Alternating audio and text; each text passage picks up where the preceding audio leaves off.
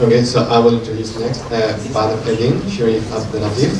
He comes from the uh, Center of Research in Economics and Statistics in Paris. So, uh, yeah, let's welcome the speaker.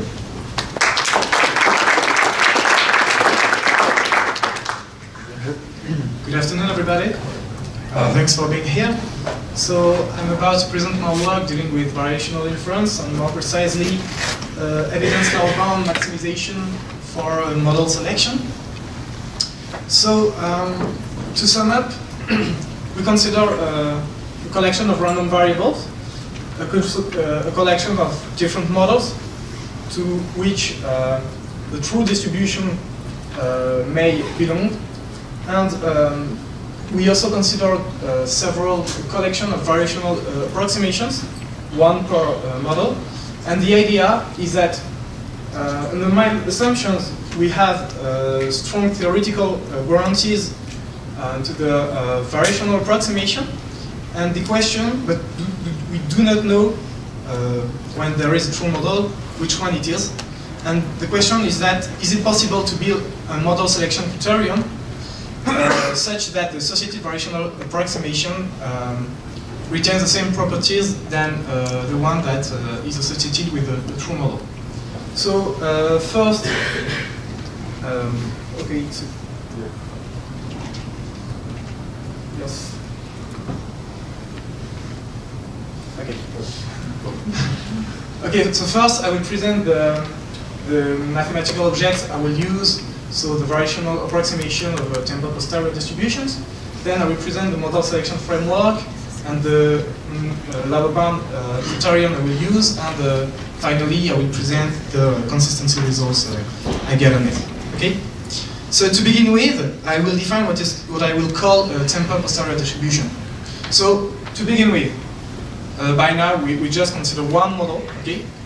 And uh, we, observe a collection of, uh, of uh, random variables uh, distributed according to some distribution, some true distribution, and we, we, we assume by now that the true distribution belongs to our model, okay? So we have a likelihood, and, um, and we, adopt a Bayesian approach, so we, we define the prior and the, the parameter set, okay? So we have the classical uh, posterior distribution, that is defined like that, and what we will uh, consider here is what we'll call the tempered posterior distribution. That is a slight, slight variant of the regular one. The only difference is that we raise the likelihood to an alpha power with alpha lower than 1. Uh, why doing this? Uh, there are many reasons. It's easier to sample from it. Another one is, is that it is uh, robust to model specification, which means that we, we still have uh, consistency results even when the um, the true distribution does not necessarily belong to the, to the model we choose. And uh, another, um, another appealing property is that the theoretical analysis is easier. Not only the proofs, but also uh, the, the conditions that are necessary in order to obtain the, the consistency of our distribution. Once we have defined our tempered uh, posterior distribution, this is the one we will uh, approach, approximate. So uh, as in classical variational inference, uh, sometimes the target distribution is not tractable. Here it is our tempered variational distribution, uh, our tempered posterior distribution. So we'll approximate it. Uh, so we consider a variational set of uh, tractable distributions. And uh, we will take the closest distribution uh, in the Kullback-Leibler sense. Okay? So this is also equivalent to maximizing this quantity, that is the evidence law. Okay? So this is the definition of the um, uh, variational approximation of our tempered posterior distribution. So there are several examples of variational sets. For instance, uh, we can consider parametric approximation, uh, Gaussians, for, for, example, or uh, mean field approximation when we have uh, some partition of our parameter set. Okay. So uh, now we will define the, the model selection framework we will use. Okay. So instead of just considering one model, we consider a countable collection of models. For instance, let's think about uh, mixture models. There was no reason to, to consider a, a four-sized uh, mixture rather than a five-sized one. So we consider a countable collection of models, okay? And we, we can, so we have uh, several parameter sets, and we can define a prior on the, the entire parameter set. So first, we put a prior belief over the different models, and then given a model, given model K, it is possible to define a prior over this the corresponding parameter set. Okay? And then we can define a tempered posterior distribution for each model and uh, its variational approximation given the, the, the K model, the model K. Okay?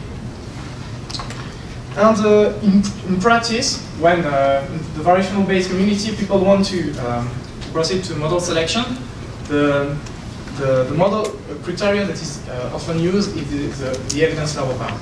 So I, I recall the, the, the alternative definition of the, the, the variational approximation, which is the distribution given model K that maximizes this evidence lower bound.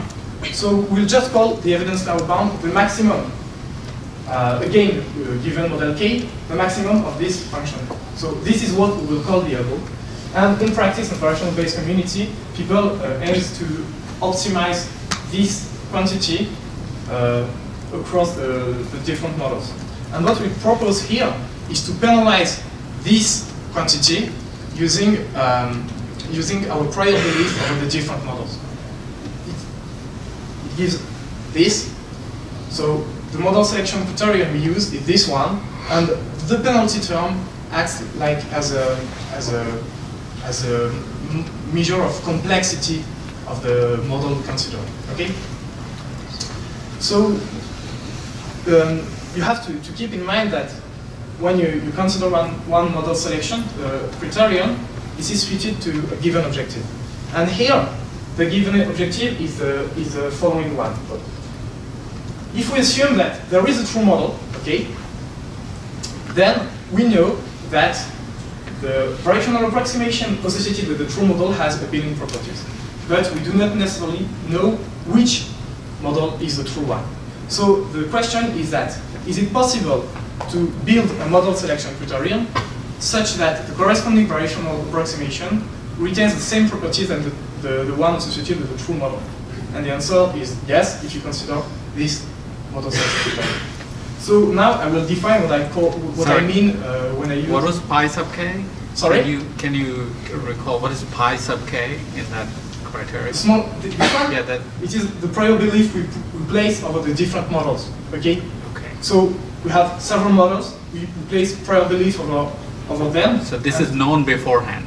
Sorry. This is known beforehand. Yes, exactly. Um, so uh, yes, so now we, I will uh, explain what I mean when I, I talk about uh, consistency and the appealing theoretical properties. So just to begin with, I need to introduce some technical condition uh, for posterior uh, distribution concentration. So uh, to begin with, we assume that there is a true model, okay? There is a true model and uh, an associated true parameter, okay? So in the Bayesian, in the Bayesian um, theory, uh, there is some condition called the prior mass condition in order to obtain the concentration of posterior distribution. So if this condition is satisfied, which means that uh, the prior associated with the true model puts enough mass on neighborhoods of the true parameter, then uh, you can get the concentration of your, your posterior distribution. If you just consider the regular posterior distribution with alpha is equal to 1, you have you, you need some additional uh, conditions. But we just focus on this one, okay? And the rate of, of, uh, of the contraction is defined by the uh, enough mass and the, radius of the neighborhood the definition of the mass condition, okay? And there is uh, similarly a condition, a similar condition in order to obtain the concentration of the variational approximation associated with this uh, um, tempered posterior. This is uh, this one. It might, might seem a little bit technical, but the only thing is that in addition to, in addition to the, the previous mass condition, your variational set here might uh, must um, contain distributions that are sufficiently concentrated around the true parameter. So once you have these two conditions, so the prior mass, the prior puts enough mass on neighborhoods of uh, the true parameter and the variational set contains uh, distributions that are sufficiently concentrated around the, the true parameter, then you can obtain what we call uh, the consistency of your tempered posterior distribution. Okay? So, the result is that if you assume that there is a true model, okay, and you assume that the prior mass condition is satisfied, so you know that um, your variational approximation associated with the true model, okay, is consistent with the rate of convergence is the one defined by the prior mass condition. Okay, so this is our uh, uh, notion of uh, consistency, which means that we consider distribution in our true model, and we look at the statistical Rényi divergence uh, to the true distribution. Okay, we take the expectation with respect to the parameter theta distributed according to the rational approximation, and then we take the expectation with respect to the uh, random variable distributed according to the true parameter. Okay, so this is an opinion property uh, for the uh, approximation associated with the true model. And the fact is that if we consider the variational approximation associated with the selected model, then we have exactly the same, uh, the same warranty. Actually, there is a, a, an additional term here, but in practice, this is an order 1 over n, which is uh, in practice always uh, faster than the, our rate of convergence. So actually, um, even when the, the selected uh, model is not the true one, we can still obtain consistency of our variational selected variational approximation as if we uh, consider the, the, true one. Okay. Another appealing property of our um, uh, model selection criterion is that it is robust to model specification. So it's, it's what I talk about uh, in the beginning of the talk. So this is the following uh, um, theorem, which might seem a little bit technical, but there is absolutely no assumption. So there is no assumption on the existence of, a true model, and then no assumption of, of uh, any prior mass condition. And uh, this remains available for only a value of k. So you, you can take the, the infimum in the right hand, right hand side. Okay. So in order to, to illustrate this result, I have a small uh, example. So this one, which is that um, I, I, I, take one true distribution, so which has only uh, follow only one assumption. So the one at the top of the, the, the slide. No other uh, assumption. I, I, I choose as, as my models, I'm a collection of models, univariate Gaussian mixtures, okay, of any possible uh, size, okay? And what I say is that for each given size, okay, I, I get a variant variance term, which is this one, which is of order k over n up to a logarithmic factor, okay? And so the larger the k, which is the side of the, of the mixture, the larger uh, the variance term.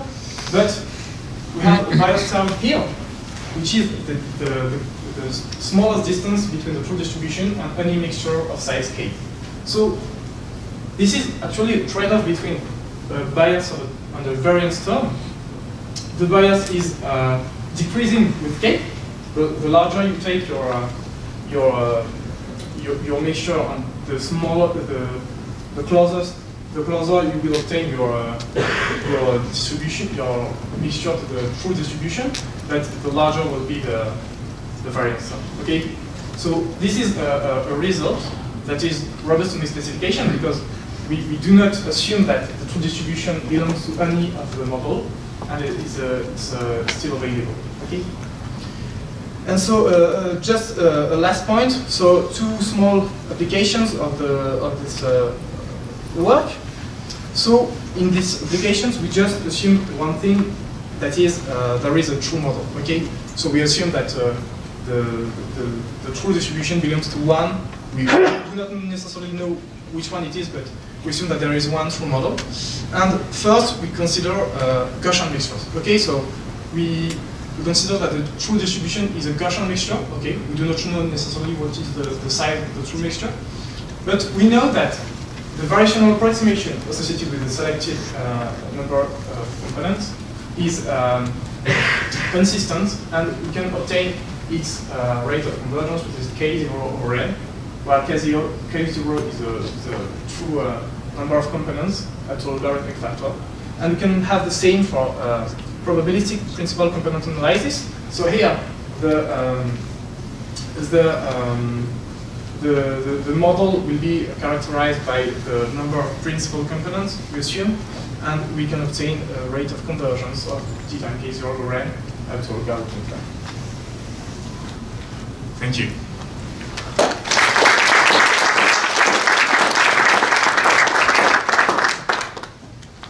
Are there any questions? Okay, so can you say anything about the prior mass condition in practice? Like how easy it is to satisfy or yes. what? Yeah. Yes, uh, so in practice, um, actually, I, I didn't mention the prior mass condition in these two applications because uh, actually uh, the prior mass condition is linked, directly linked with the, uh, the rate of convergence of your approximation.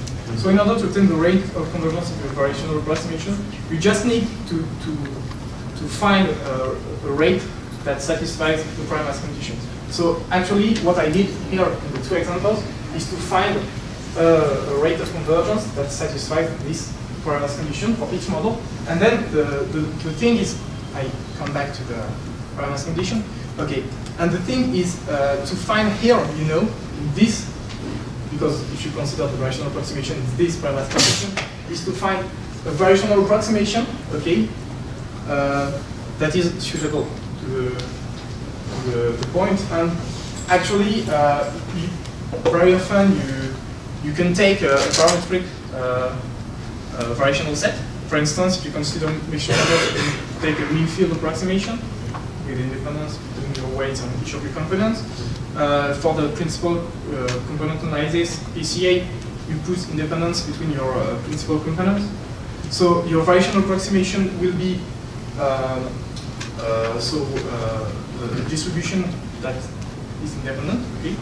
And you, you try to, to find, actually in practice, the, the simplest one, simpler, simple one, simple fractional distribution, and uh, actually this is the only thing to do is to, to find a suitable uh, variational distribution okay? And actually when you it's just to you have to actually to, to do computations to find the, the, true one that it's actually it's, you, you have to to to, to uh, check that this condition is satisfied the thing to do and it's more or less easy to check more or less. It's uh, quite uh, it's quite uh, it's computation okay yeah, thanks yeah, let's, let's, oh, okay, there's another question over there. Yeah, sorry. So most of your bounds, the, you've got this prefactor alpha with 1 minus alpha, which suggests that like the bound is, you got a singularity at alpha is 1, which is the normal, if I understood it right, that's the normal Bayesian case, right? Can you, like why, why is your, why, why are they all breaking down in the sort of normal setting? Uh, could you repeat the? Uh, well, like most of your bounds, uh, like yes. forward or something, uh, you've got this like, you've got, you know, things over 1 minus alpha right? Yes. So if alpha is 1, which if I understood it right, that's the normal Bayesian case? Yes. Yes, yes. you've got sort of vacuous bounds, right? So you mean that uh, actually when when you, you, you put the case of alpha is equal to 1, the, this is a, actually a, a quite different case. And uh, this is... Um, but that's normal Bayesian inference, right? Yes, yes, but actually the, the point is that it is really a different point because um, actually the, the I, I, told at the beginning I, I told uh, about uh, some properties uh, uh, here. Okay so theoretical analysis is easier. I told that. Actually the point is that if you, you, you consider the alpha is equal to one case okay um, you, you, will need uh, additional assumptions in addition to your prior mass condition which are testing conditions. And um, actually the point is really different because you, you will have uh, different tools in order to prove your results because it won't, actually you see that the Rényi, alpha Rényi divergence when uh, alpha is uh, converging to one, it will be the Kullback-Leibler case, so it, will be uh, different tools in order to, to, to prove your, your uh, theorems and also the, the assumptions that you will, uh, you will make will be different. You will have additional assumptions and uh, in addition to this, uh, you, you won't have the robustness property because uh, the, the prior mass condition is only available if you consider a true model, and if you remove this uh, alpha lower than one case, it, it won't be available. Uh, only a robust uh, result won't be available. So Speak, speak, have, uh, have you looked at alpha greater than one at all? um, actually, the, the alpha is equal to one case has uh, not in model selection. Okay, so but uh, uh, Zhang and Chao Gao uh, treated this case. Uh, so in a paper called, I think, on the rate of convergence of rational approximations or something like that. It's a paper that have written this year or last year. I, I can't remember, but yes, but it's it's done for a single model, and the, the point is really different because they have additional condition, and uh, it's a little bit different. Okay, so let's the speaker.